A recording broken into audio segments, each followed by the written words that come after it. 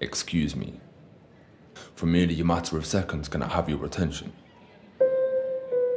If you look past the oppression, the denim jacket that's weathered, the wet and haggard, decrepit, laughable bag that arrested you would actually sense that my character's strength is surpassing the depth expected of a cancerous leper. You see, I'm more than an embarrassing beggar. I'm more than a tramp with affection for Valium, Ket and irrational measures of Jack in my beverage.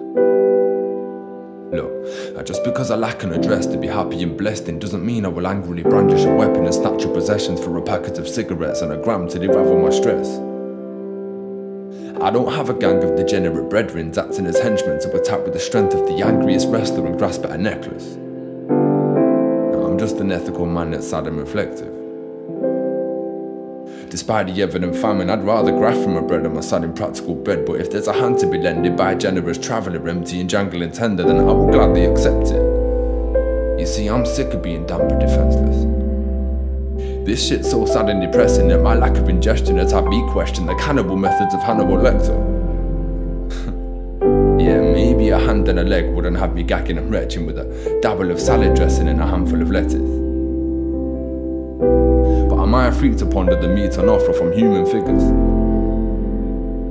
No, seriously. I'm in need of options that lead to prosperous new beginnings. I've gone from a peaceful cottage and frequent shopping, the cleanest office with shoes that fitted, to depleted squalor in streets and hostels when rooms are given. From the deepest pockets, and meaty wallets and eating lobster with juicy fillets, and now the greasy toppings and pizza boxes is food I sit with. Our sleeping boxes, so needle poppers with fluent twitches and frugal symptoms often keep me strong when my feeble posture is losing fitness. These needy rotters that use syringes are frequently perceived as evil monsters and brutal sinners, but since I had my thoughts on the road from Securus to Bowden Pool, man, they've been nothing but warm and approachable. Greetings, honest and truthful wisdom. I said greetings, honest and truthful wisdom.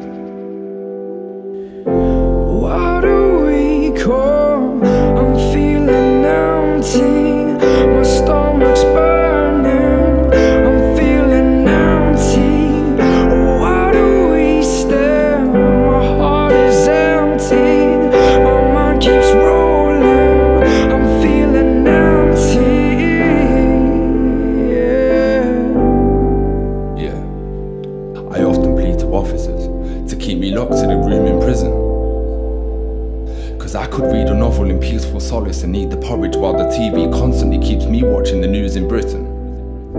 But it's harder to get inside than bartering with feds for a marginally better life, so rather than begging, if I took part in a petty crime armed with a heavy knife, acted gnarly, aggressive, started a temper, and the entrance of a bar or a chemist, demand half of the pennies twice in a harshly oppressive vibe, then I'd be disarmed and arrested. Charged and sentenced to the guarded heaven of bars of the bed to calmly rest my marvelous head at night. Yeah, anything beats being stuck on the strip in these blustery winters. And when I'm feeling glum and dismissive, I look at the picture of my mother and sister I slipped in my gloves and clutch with my fingers. this troublesome infant.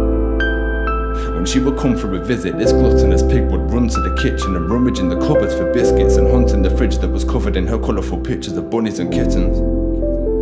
Now I wonder if they'd look at me different now I beg the public for pittance.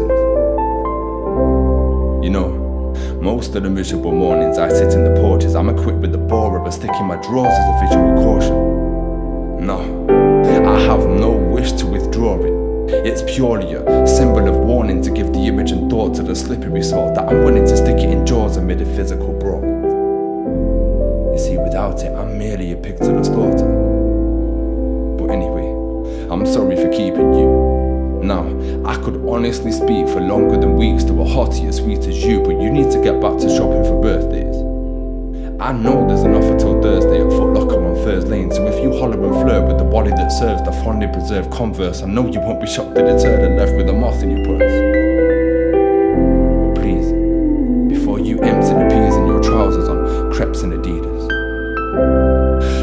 Lend me a meager amount to spend to put greens in my mouth, the gesture will keep me from death and readily feed me. And even pennies will ease the resounding stress on my weediest crown. With edible beans, my belly will steadily cease to project this deafening demonish growl. It seems every infrequent account with pleasant demeanours ends with me begging for measly pounds.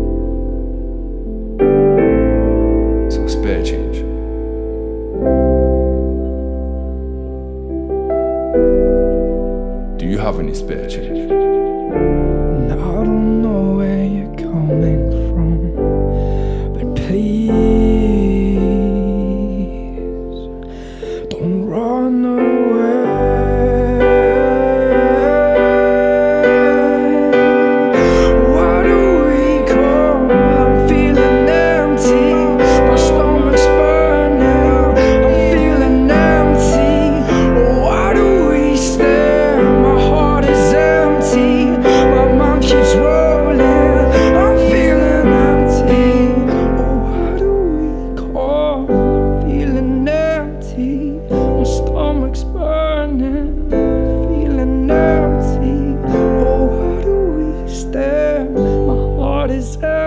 My mind keeps rolling, I'm feeling empty.